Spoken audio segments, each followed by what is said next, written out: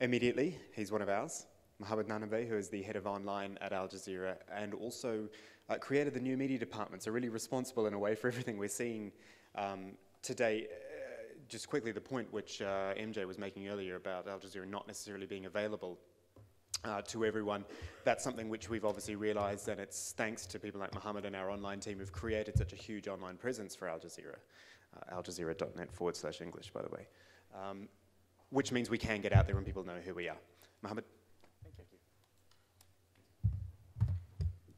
You know, my the topic of the schedule of the discussion they gave me originally was the Al Jazeera model. Uh, and I thought I can just come up and say whatever he said.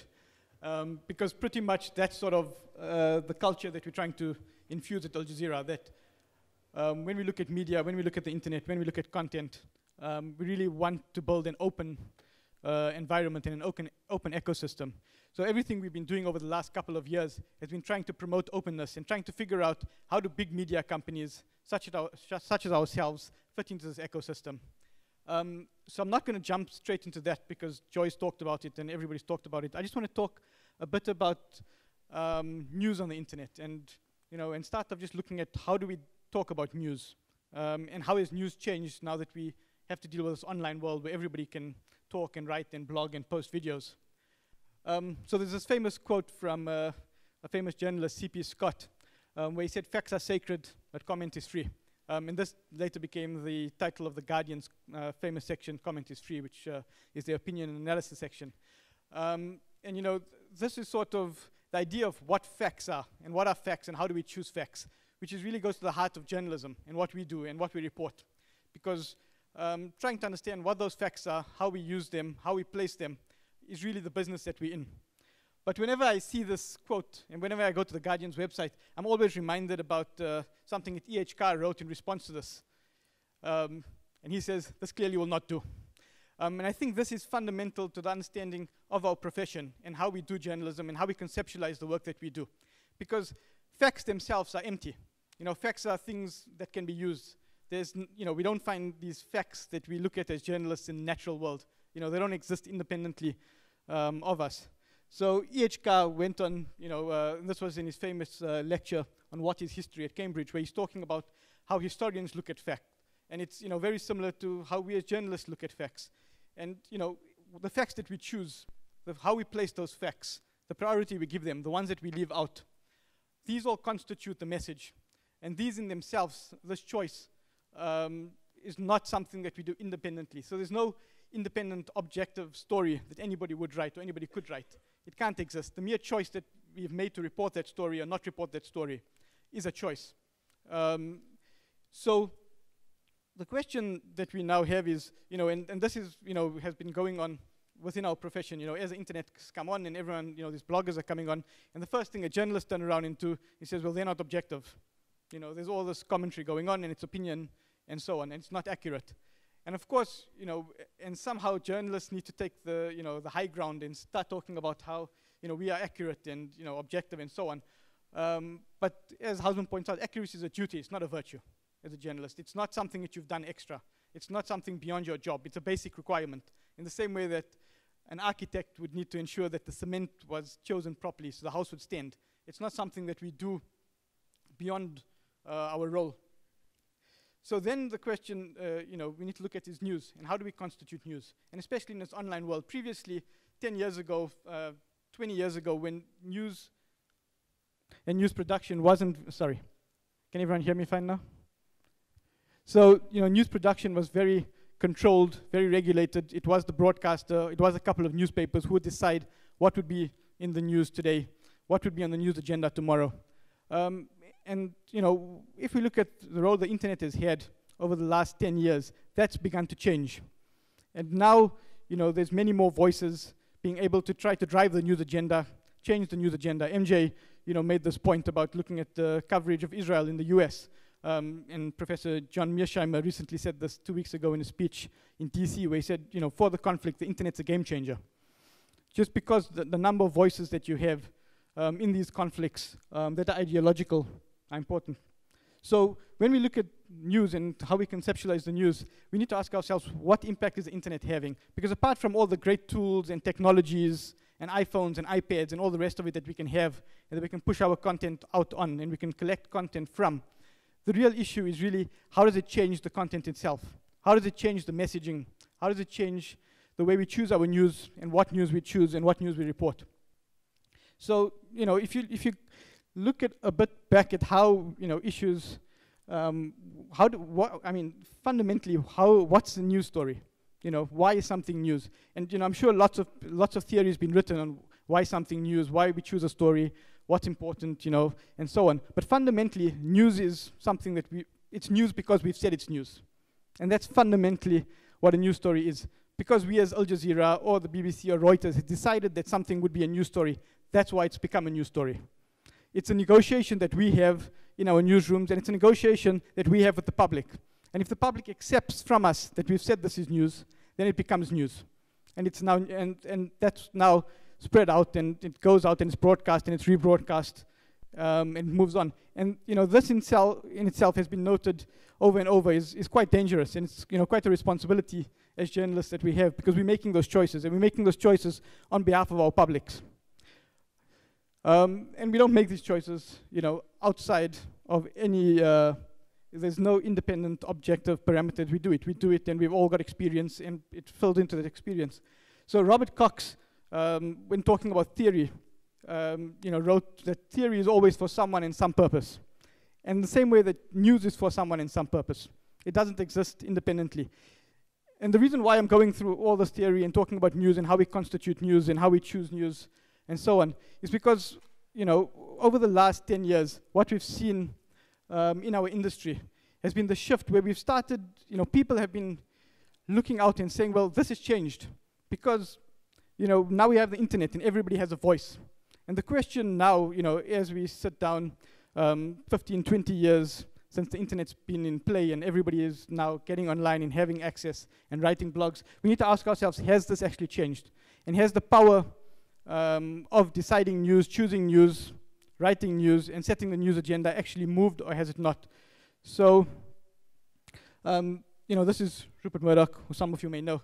And, you know, in 2006, Murdoch, you know, was quoted in Wired magazine talking about this fundamental shift that he saw, and the shift that we've all been talking about, saying that you know the powers moved away from the printing press uh, because you know uh, the birth of mass media, technologies shifting away from our, from the editors, from us, from the publishers, and you know the people are taking control.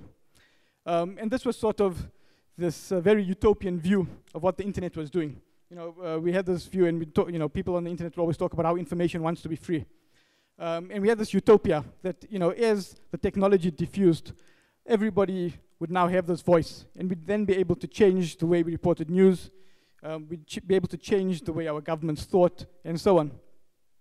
Um, now, Rupert said this in 2006. He went out and bought MySpace, um, largely driven by this because now the people were taking over and they were all on MySpace.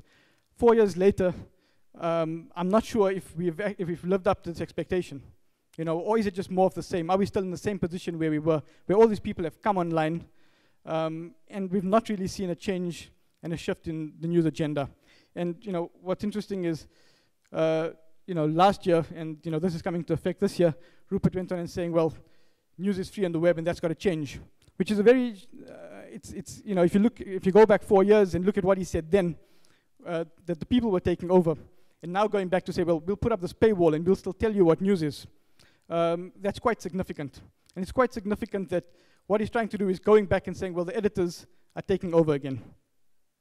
Um, now, of course, you know, you've heard our Director General make a couple of announcements today on this and about, you know, how we view openness and so on. So just to proceed, just as I've proceeded this discussion, looking at, you know, we need to understand what um, exactly our role is as journalists, as people working in the online space is in this new media environment, where all these other people now have, have access and where we are sitting, still try controlling and we feel we have some control over this messaging and this news. Um, and I think it's still true. We still do have this control over this messaging. But as this ecosystem develops, um, and as it moves on, and you'll hear this in the next session um, with the guys from Twitter and Kevin Anderson um, speak about this, you know, how that conversation has shifted. So for us at Al Jazeera, you know, with this theoretical background now of how we choose our facts and how we look at news and, you know, what um, news is for. And you know uh, what Wadah Khanfar talked about, you know, the mission uh, that Al Jazeera has and the spirit of Al Jazeera. Um, and it's you know it's a very emancipatory message um, that he was delivering, talking about the voice of the voiceless um, and so on. So where this leads us to um, when we're looking at new media and looking at online and looking at technology, because if this is how we understand news and how we create news, um, it leads you online to a posture, and this posture is openness. And you know, Joi is just um, you know given us a great overview of what that means. But this posture of openness for me has two elements. One is how we approach um, what material we use, um, and how we approach uh, the people we were our audience, and how we let them use our material. So, you know, there's this famous quote by Jeff Jarvis, um, who's a journalism professor at, uh, in New York, and he says, "Do what you do best and link to the rest."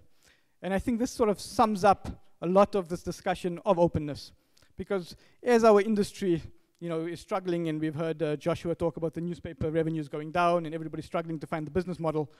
We can't do everything anymore. And previously, the posture that we would adopt as news organizations was that, you know, you'd come to me, and I'd tell you everything there is, and I'd be the authoritative source on everything. And that's just not viable anymore as we move forward.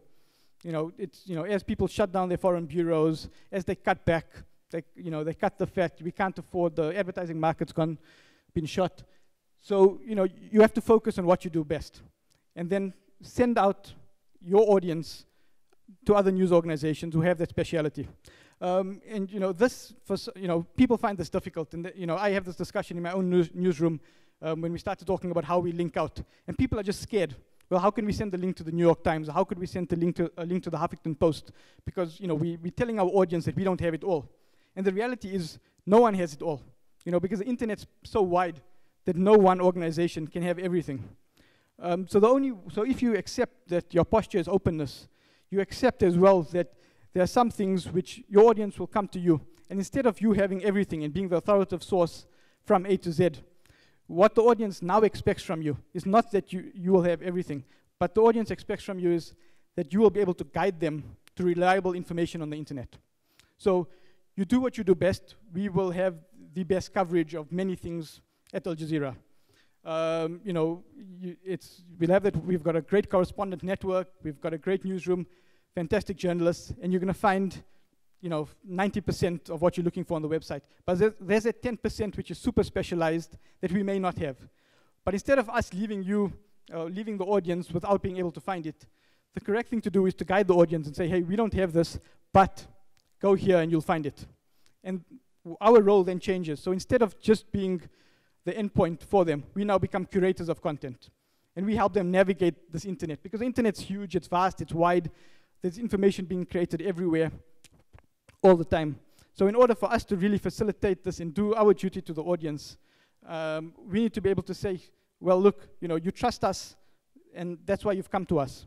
And what we'll do is we will gui guide you along this news landscape that's complicated and it's difficult, and it's, you know, there's all the stuff that goes along with the media landscape, and we'll help you find the best that's out, that's out there. So the other part of this posture of openness is what uh, started talking about with Creative Commons. So I'm just going to go a bit more into detail about why we've done this, because it sort of sets the stage for a lot of the other things that we've done at Al Jazeera. Um, so, you know, this was our Creative Commons repository that we put up after the war in Gaza. Um, there's, you know, some more footage inside and some more to come.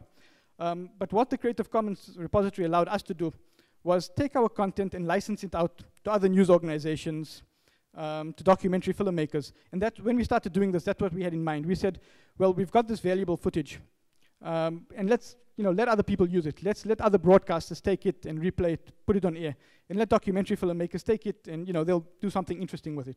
And it was an experiment that we thought we'd try.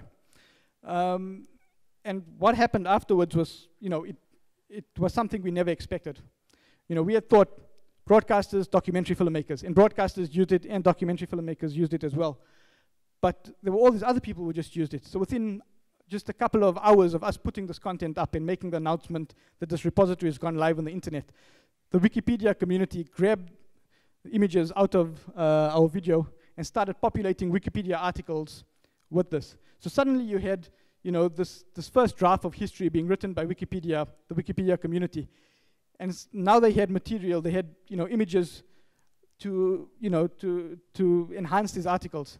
So you know these this video that we had put up was now suddenly within the within the public record and within the public mind.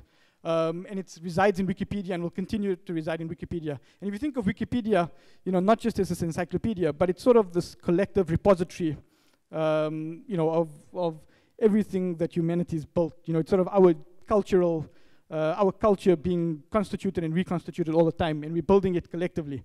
Um, because fundamentally, that's what a wiki is. So, you know, now we've taken this content and it's diffused through there. So it'll be something that will be there when our kids and whoever else goes on to find out about some event and they'll go up and look it up in Wikipedia and now they'll find the images to go along with it. So that was quite important for us. Um, then we had filmmakers, music videos, artists, video games, you know, every form of media that you could think of used this footage. You know, we, um, when we started it, we had no idea. We really just thought it's going to be documentary filmmakers and it's going to be other broadcasters. But suddenly, you know, people were using it in schools, at universities, um, for public service announcements, and it just spread across the internet. And for us, it was quite powerful to understand that, you know, once you've taken away certain barriers to your media, you know, people will come and they'll do things which you never thought was possible. You know, and it wouldn't have been possible if you hadn't used it under these licenses. And, you know, we know, you know, being on the internet for the amount of time that we have, we've seen what's happened to the music industry um, and to the film industry and how content gets shifted around, um, often illegally. So it's going to happen. But as soon as you facilitate it and say, well, we'll remove some barriers and let's do this legally and see what happens, suddenly you see um, this creative expression flourish. So, you know, this is uh, the Wikipedia articles where it started going into. Um, so what this experience taught, taught us was a couple of things. So firstly, you know, we did this and, you know, it was really good for our reputation as Al Jazeera. Joi goes around the world now, you know, talking about us and the White House and how great we are um, which is fantastic. But you know, it's also good for us in terms of people in our industry look at Al Jazeera and say, well, this is the model that we can use. Uh, it enhanced our distribution. You know, uh, MJ spoke about us being available in America and people getting us on the internet. But what it did by putting this material and making it available, other broadcasters took it as part of the licensing agreement. Um, they would need to attribute it back to us. So it enhanced our distribution. We had broadcasters just taking it on um, and pushed our content out further. People who may have never seen Al Jazeera or thought to have switched, um, switched their remotes to Al Jazeera had their footage in front of them.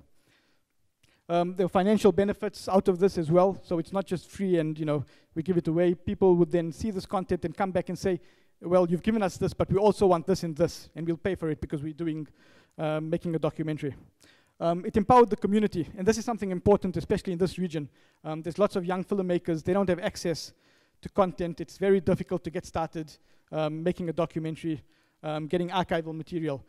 So by giving back to this community of people, of journalists, of filmmakers, uh, we actually help them get started on this and hopefully produce the next generation of journalists um, and documentary filmmakers. Um, and part of it at the end is also just a bit about respecting our audience. You know, it's no longer, as we move into this online landscape, it's no longer that people just sit back and listen to us. You know, people sit forward and they choose to consume us online. You know, people are no longer just passive consumers of information. Um, they're creating their own information, they're blogging it, they're tweeting it, they're creating their own videos. And as this happens, you know, uh, it's no longer just us and them. So if you look at the Iran election and you know other examples of this, where lots of the information was coming out of YouTube or Twitter and so on, if we as journalists are just taking this information and sucking it out, you know, we should have some sort of duty as well to be able to make our content available back to people, and not just saying, well, we'll take it, we'll take it, we'll take it. Um, we might credit you, and put your name on TV, but that's it.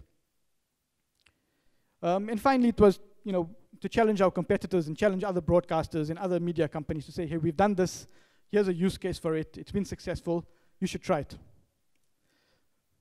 Um, so in the end, I think the most important part of it is, is, you know, as you put this out, we really, what we're doing is constituting and reconstituting culture and knowledge. Um, and when I think of Creative Commons, you know, this is something I've been going around uh, telling people recently when I speak about Creative Commons is, you know, what we're doing is we're helping contaminate culture. Um, and I use contaminate not in the word, not in the way that you know negative and you know we're taking something and you know making it dirty, but in the positive sense. You know that this is this is how culture diffuses, and this is how culture gets built by contamination. The fact that um, you know if you look at this region in the Middle East, you know it's it's not a stagnant culture. It didn't just stay. People traveled through it as traders moved through Um, that's how this culture was constituted. And the same for other parts of the world.